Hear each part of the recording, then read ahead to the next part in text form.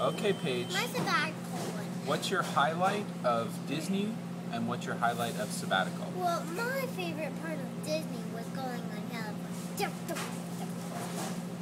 Going on what? My favorite ride was going on Mulholland Magnet. Mulholland Madness? Yeah, that was And then what was your highlight of sabbatical? my sabbatical, sabbatical trip? was being with my family and friends.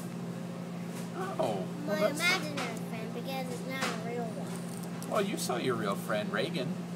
Oh no, that's my friend. Okay. Thanks, Paigey. Bye bye.